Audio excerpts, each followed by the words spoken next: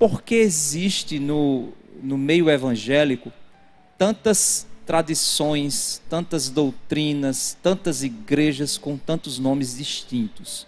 As pessoas podem se perguntar, eu já fui perguntado várias vezes acerca disso. E o que o senhor diria nesse, nesse caso? É, eu diria que a igreja cristã, a igreja é, é, genuinamente evangélica é uma só. Não é? A escritura mesmo faz referência à realidade de uma igreja que é invisível, não é, mas que está espalhada por toda a terra. Não é?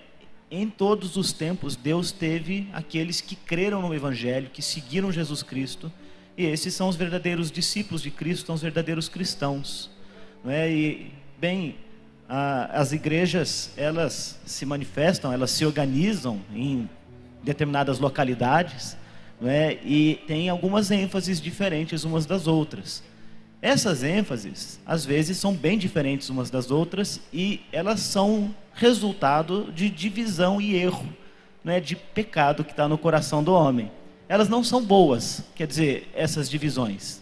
O fato de que existe uma igreja só, que é una e que é habitada pelo Espírito de Deus, não, é, não significa que o homem, não é na maneira como ele conduz a história, né, por assim dizer, é, não encontra ali é, razões, né, por assim dizer, de, se separar, de, não é, de, de cindir aquilo que deveria ser unido, né?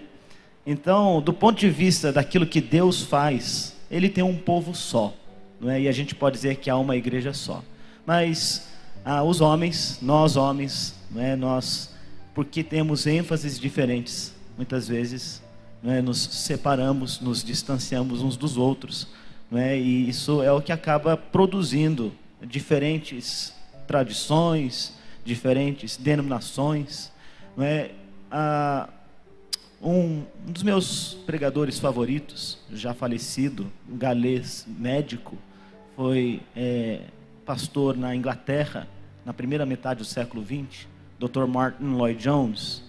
É, em um, um de seus livros, se não me engano, Discernindo os Tempos, ele dirá, não é, fazendo um comentário da epístola do apóstolo Paulo aos Efésios e também de João, capítulo 17, onde a gente tem uma oração que Jesus Cristo realiza.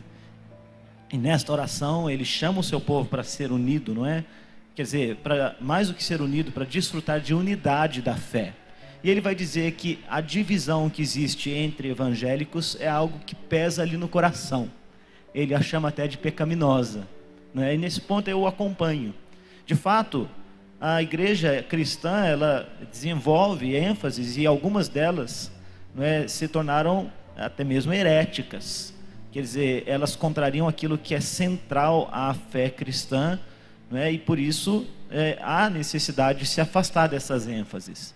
É? E, por exemplo, Lloyd Jones, nessa mesma obra, ele vai dizer que ele entende e, a, e suporta a separação que há entre o ramo cristão do catolicismo e o ramo cristão do protestantismo. Ali haviam diferenças irreconciliáveis. E algumas coisas que estavam no âmago da revelação e do ensino das Escrituras foram rompidas pelo catolicismo e por isso havia necessidade de separação. Mas nesse ponto ele vai dizer que a separação que há nos meios protestantes, isso é algo trágico, não é bom. Né? É, nós precisamos encontrar aquilo que é, é comum à nossa fé entre as diferentes tradições para que a gente possa desfrutar de boa unidade. Eu, eu diria que esse encontro aqui é uma representação disso, de um tipo de unidade que a gente tem não é, é em torno daquilo que é essencial.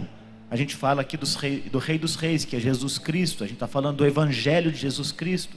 Não é? A gente está falando da, daquelas doutrinas mais essenciais da nossa fé cristã, aquelas que inclusive aparecem nos nossos principais credos e documentos confessionais, não é? E que unem a gente. Embora a gente tenha aqui expressões diferentes, né, por assim dizer, da, do, do protestantismo, a gente desfruta de boa unidade, não é? E eu acho que o esforço do cristão deve ser de buscar essa unidade, não é, da fé em torno dessas doutrinas essenciais do cristianismo.